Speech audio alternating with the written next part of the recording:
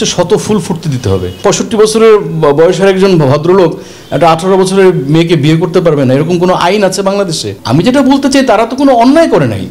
তারা কোনো ক্রাইম করে নাই, কোনো অপরাধ করে নাই। মানুষ যদি নেয় মানুষ নেবে, মানুষ প্রত্যাখ্যান করলে মানুষ প্রত্যাখ্যান করবে। কিন্তু আপনি কাউকে ফোর্স করতে পারেন না যে তুমি এটা করতে পারবে না। আপনাকে ছেড়ে দিতে হবে। পঁয়ষট্টি বছরের বয়সের একজন ভদ্রলোক একটা আঠারো বছরের মেয়েকে বিয়ে করতে পারবে না, এরকম কোনো আইন আছে বাংলাদেশে? সংবিধানে এরকম কোনো আইন আছে? তারা তো আইনসম্মতভাবে বিয়ে করেছে। তাই না? হুমায়ুন স্যার কিন্তু যখন শাওন ম্যাডামকে বিয়ে করেন ওনার কিন্তু ষাট বছরের যে বয়স কম ছিল। আমি যতটুকু জানি উনি সিক্সটির চেয়ে অনেক কম ছিল বয়স। সো ওটা কম্পেয়ার করা ঠিক হবে না। কারণ এখানে তো মুস্তাক সাহেবের বয়স মনে হয় সিক্সটি ফাইভ না? সিক্সটি অ্যারাউন্ড সিক্সটি ফাইভ কিন্তু হুমায়ুন স্যারের বয়স কিন্তু তখন সিক্সটি হয় নাই। সো এটাকে কম্পেয়ার করাটা আমি মনে করি ঠিক হচ্ছে না। বাট আমি যেটা বলতে চাই তারা তো কোনো অন্যায় করে নাই।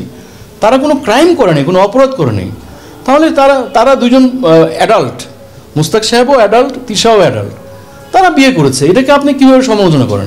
এটা আমার মাথায় ঢোকে না। আপনি যদি টাকা ইনকাম করতে না পারেন, আপনি কোনো ব্যবসায় সাস্টেন করতে পারবেন না। সো আপনার সিনেমায় যেমন বক্স অফিস সাফল্য লাগে সিট সুপারহিট টাকা লাগে, এখানেও ভিউ ছাড়া আপনার টাকা আসবে না। টাকা না আসলে আপনি কীভাবে প্রোডাকশন করবেন? বাণিজ্যের বিষয় না। বিষয়টা হচ্ছে ইউটিউব প্রোডাকশনের বিষয়টা হচ্ছে, যত ভিউ আপনার হবে আপনার রেভিনিউ আসবে। ব্যবসা ছাড়া, লাভ ছাড়া কোনো প্রোডাকশন হয় না। একটা যত বড় ইয়াশ চোপড়া বলেন, যত বড় ডিরেক্টর বলেন, তাদের সিনেমাগুলো হিট করেছে বলেই তারা আরও সিনেমা বানাতে পেরেছে। এটা তো কোনো চ্যারিটি না, এটা একটা ব্যবসা। আপনি যদি ব্যবসা না হয়, আপনি কেমনে কাজ করবেন? ভিউ খুবই গুরুত্বপূর্ণ। আমি ভিউ পপুলারিটি এগুলোকে ছোট করে দেখব না। এগুলো খুবই গুরুত্বপূর্ণ। আবার কন্টেন্টের কোয়ালিটিও গুরুত্বপূর্ণ। দুইটাই গুরুত্বপূর্ণ।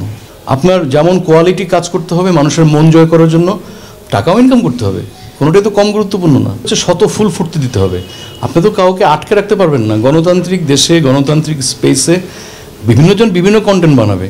আপনি আপনারটা বানান। আপনি যদি ওয়েব সিরিজ বানান বানান, ভালো মতো করে বানান। ওয়েব সিরিজ কি হিট করেনি? আগস্ট চোদ্দ শিয়াব শাহিনের সুপার হিট হয়নি? নাটক, আমরা যেটা করেছিলাম বহু আগে চার পাঁচ বছর আগে best twenty seven last page super duper hit নাটক ছিল। তা এরকম মুস্তাক তিসাও এমন হিট নাটকও হিট হতে পারে।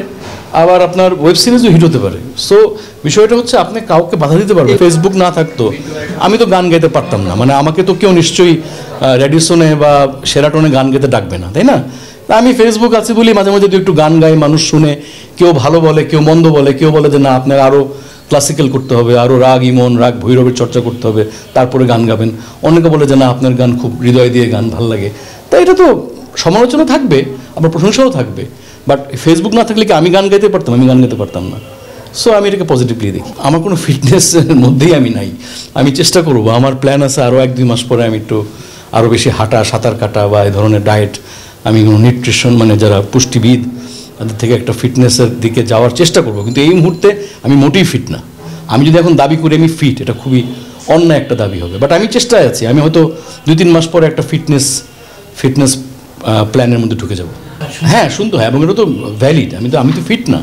এখন আমি ফিট না আমাকে তো মানুষ বলবেই তুমি আনফিট এটা তো মানুষকে আপনি দোষ দিতে পারেন না। আমাকে তো আরও ফিট না হলে আমি কেমনে আরও ভালো অভিনয় করব? আমাকে যে কোনো একটা পোস্টার নিতে হবে আমাকে মাটিতে পড়ে যেতে হবে মাটি থেকে উঠতে হবে। তো এগুলো তো তো আরও ফিটনেস দরকার। আমি সমালোচনাগুলোকে পজিটিভলি নিই। হয় না না মন খারাপ হয় না। আমি সমালোচনা পজিটিভ নিতে পারি।